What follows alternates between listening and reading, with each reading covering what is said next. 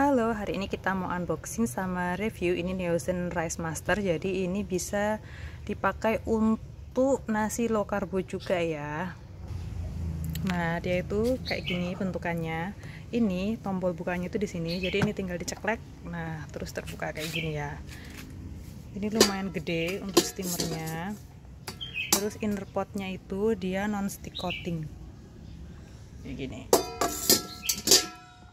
setelah itu ini menunya ada macam-macam banget nih. Nah di sini ada low sugar yang di sini. Ini kalau pakai 1 sampai 2 cup terus ini 3 sampai 4 cup jadi dia ada dua pengaturan gitu. Nah menunya tuh kayak gini. Kalau kita pencet menu nah itu kan kelihatan. Nih dia menunya ada di sini. Ini tumis terus kalau yang ini bubur. Oh ini sup-sup nih yang klap klip kan kelihatan ya. Kalau siang nggak terlalu kelihatan soalnya kalau di dalam ruangan baru nih kelihatan banget. Nah dia pencet menunya tuh di sini. Terus itu yang di atas tuh timernya. Jadi kalau misalkan kita masak pakai ini kan yang bubur. Nah itu waktunya tuh satu jam. Terus misalkan kita pakai yang lain jadi menunya tuh ada di sini.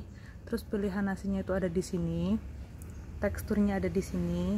Ini jamnya ini menitnya terus kalau misalkan cancel kita bisa tekan yang di sini.